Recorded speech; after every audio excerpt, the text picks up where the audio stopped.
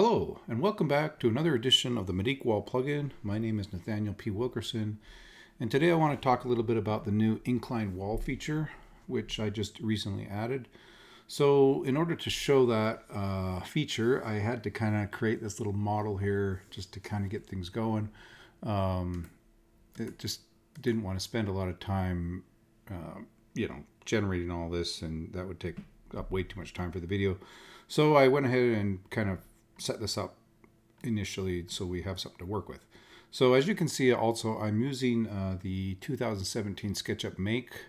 And the reason why I'm doing that is just to show you that you know we're still backward compatible back that far. And yes I do have uh, SketchUp Pro 2023 and the latest and greatest version also works with all the plugins. But um, yeah I'm just going to use the old quite uh, dated now 2017 just to show how to do all this. So to get going here, I uh, initially just created, you know, this little garage. I think it's a 24 by 32. Um, and then I threw an attic set on top of it, as you can tell. And then what I'm going to obviously show you is how to create these dormer walls that are inclined walls that are sitting on top of these attic trusses. And so basically I've just taken and modified this attic set manually. I've deleted a couple trusses. As you can see over here, I've deleted another two. And so what I'm going to do is I'm going to show you step by step how to create this um, uh, kind of, I guess, dormer uh, wall set for the other bay here. So in order to do that, you know, we basically had to create like a little floor piece here. And as you can see, you're going to probably ladder frame that out, something like that. And then, uh, you know, extend. I've, and I've got this offset from the outside wall one foot in. I mean, you could set that whatever you want. It's, you know, it's literally a, a design choice more so than anything else. But uh, in this case, I have it set one foot back. Okay, so the way I get going on something like this is I will kind of set this up and then what I'm going to do is I'm going to create this little outline here. Uh, so I'll just use this uh, rectangular tool to create a little little uh, plan here so we have something to work off of. And I'll just stretch it out over right to this corner. Okay so you can see we've got like a little rectangle here. So because the walls are going to be resting on the roof itself I am going to offset these uh, lines out by five and a half inches because I'm going to go with a five, uh, five and a half inch wall so I just go the move tool and I just go ahead and push this out 5.5 and then I'm going to do the same thing over here with this edge if I can get a hold of it. Uh, let's see here, go back to my select tool. Okay, and then we're going to move that out five and a half inches that way and it did that automatically. And then I set a little guideline here so I could push this back. And the reason why I'm pushing this back to that line is because I need to get the length of this wall so it extends past uh, where it intersects the roof plane. So that's basically the only reason for that. So again, we'll just take this and we'll go ahead and move it straight back to this line here. Okay. So, and I've actually set the units up from architectural to digital or decimal, sorry. Uh, the reason for that is just so I can accurately measure things right, you know, to the eighth decimal place. You don't have to do that, but I just did. So you can see this is like nine and a half inch or nine and a half feet, sorry, or 114 inches. Okay, so so the next thing is we just want to go ahead and create the walls. I'm going to go with the same wall height as this. I think this wall height was, let's edit that wall real quick and we can take a look. Yeah, it's it's just seven feet tall. It's not a full uh, eight foot wall. So we'll just go a little shorter, just because this roof itself is not that tall. So we'll just go ahead and wrap uh, three walls here. So we'll go ahead and click our draw wall tool, set ourselves up with a wall height of 84 inches. And update on that, and then just start at this corner. This will work intents and purposes and just go right to that corner and then to this corner. Basically, we're just setting the wall down on top of this uh, attic floor, right? Okay. So the first thing you're going to notice is that if you look at the corners of this uh, this front wall here, and you compare them to this one, you'll notice that it's different. And so it automatically defaulted to this uh, front wall having outside corners instead of what are called inset outside corners. But that's not really going to work for us in this case because if we do that and we incline this wall, then this wall is going to have you know, pieces of the framing projecting down into the roof plane. And so we're going to reverse that. So that's our first step. It's not too hard. Just click edit here. And we're going to go ahead and change the corner end conditions here. So instead of being outside corner, we're going to set it to an inset outside corner. Same on this side. And hit update.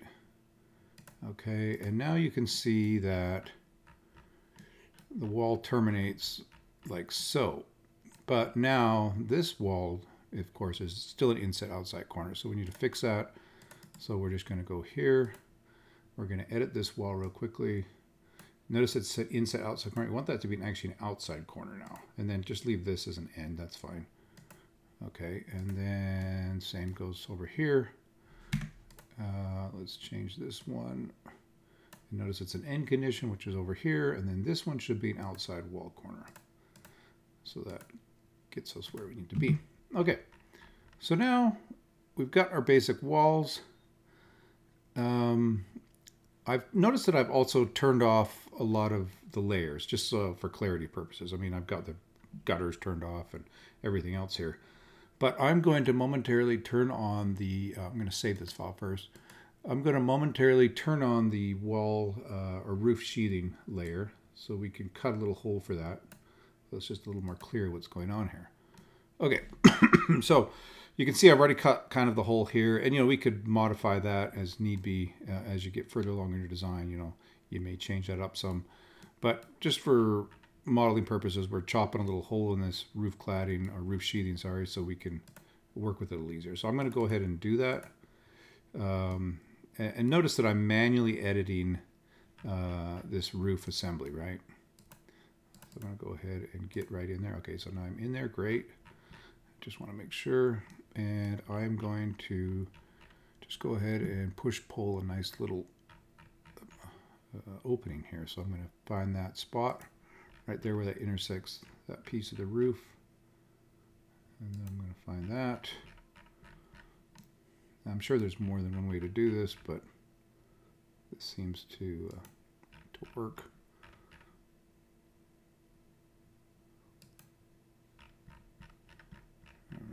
Complete our rectangle, coming back down to here. Okay, and we can see that we've now got our opening. Now we just need to push pull that guy and remove that little piece. This is always fun. Yep, and we got it. Okay, now we can jump out of that. and now you can see you've got your opening. However, if you notice, um, know, we've still got these walls, right? and they're projecting through the roof, right through the attic truss. And we actually want it to sit on top of this uh, roof plane, on top of this OSB actually. And that's partly why I did with the sheathing, because I want to show you we need to account for the fact that we've got uh, this wall sitting not only on the, the actual trusses, but also on top of the OSB. Okay, so I'm going to actually change the um, transparency of the OSB just to make it a little easier to work with as well. So we're going to have to open this up a little bit, open that, click edit, and we're just going to uh, make this quite transparent so we can see through it. We can work with it a little bit. And so now what I want to do is I want to get when I when I do the uh, or the uh, incline, it's going to incline from the bottom of this wall, and I'll show you that. So what I'm going to do is I'm going to go ahead and edit this um, wall assembly right now. And to get the inclined wall now, all you do is you come down here to the advanced options. At the very bottom, you're going to see inclined wall. So we're going to turn that on. And notice it's going to give you a pitch and a incline direction and a vertical offset. So I'm going to set this to 1012 because I know it's a 1012 roof. Hit update on that. Okay, and the vertical offset by default, of course, is zero. So that means it is starting the offset, or not the offset, the incline right at the bottom of the wall. But notice that's not where we want it. We actually want it so it starts right there, or actually right here, sorry.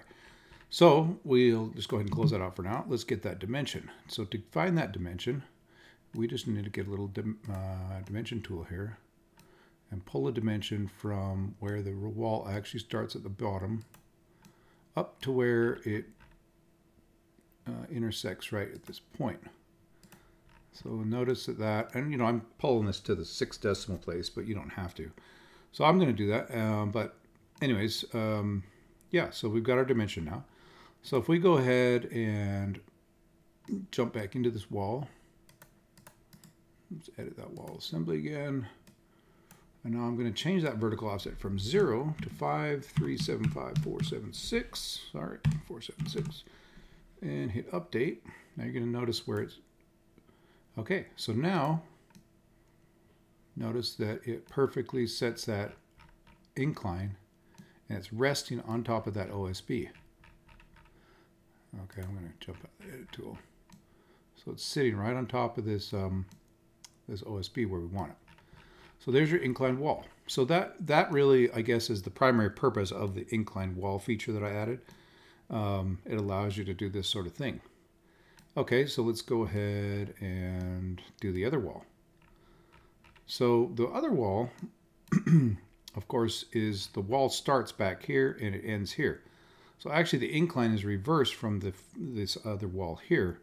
And you'll notice that if we edit the wall, edit wall assembly, let's go ahead and incline it. So go down here, turn that on. All the options come up, go to 1012. Uh, we can put the offset in let's see, what was it? 5.37547, Okay. Okay, and now you notice, well, wait a second. It's, uh, yeah, that's not right. But that's because we've inclined it from the left. So if we go right, it'll flip that around. And now you notice that we've got an inclined wall going the right direction. So basically, you've just got to flip it one way or the other depending on which way you're going. But as you know, a wall always has a start and an end. Um, and so that's to, something to be aware of. So let's go ahead and close that out. Okay, so we've created our inclined walls. Um, just for uh, illustrative purposes, let's go ahead and throw a window in here. Uh, I think on this last window I did, let's make sure we match to it. Um, let's see, the header height is really I got to worry about. It's 70 inches. Okay, so let's go ahead and throw that in there. So let's change our header height here to 70. Update, and then I just centered it essentially onto the, uh, I think it was centered onto the, yeah, onto the dormer, of course. Right, and there you have it. There's your next dormer. So we've gone ahead and used the wall tool to create the inclined and regular dormer face, um, the front face dormer walls. And that kind of helps you illustrate you know why you, exactly you need uh, the inclined wall feature. So it gives you that ability to do that. And I'm not going to go ahead and draw the, all the rest of the dormers. I was mainly just here to, to try to do this video to show you you know what that inclined wall feature is like so anyways um, yeah I think it's a helpful little ability to do this uh, let's go ahead and turn on the wall sheathing just so we can see that and let's go ahead and turn that back up a little bit. Yeah, okay. So we can probably delete these dimensions now. We don't need them. But there you go. There you have it. Um, we've got the start of a dormer set here on this uh, detached garage. And I think uh, if you have any questions, give me a holler. But um, I, I am still working, of course, on the roof plugin and uh, the, the dormer tool. But part of the reason why I've held off on doing more with it is trying to determine well, how do I want it to interact with the wall tools? So I think eventually what I'm going to have it do is it will try to take care of all these steps for you, but it will draw the walls themselves with uh, the wall tool and take care of the inclined walls and then add the roof on top of the dormer as well. So anyways, it's a rather complicated procedure and it's going to take a little bit more uh, coding and some fairly you know significant algorithms to do that. So, All right, well, thank you so much. And if you have any questions, give me a holler, and I'm always here uh, willing to, uh, you know, take into consideration any sort of um, feature requests and that sort of thing. Thank you.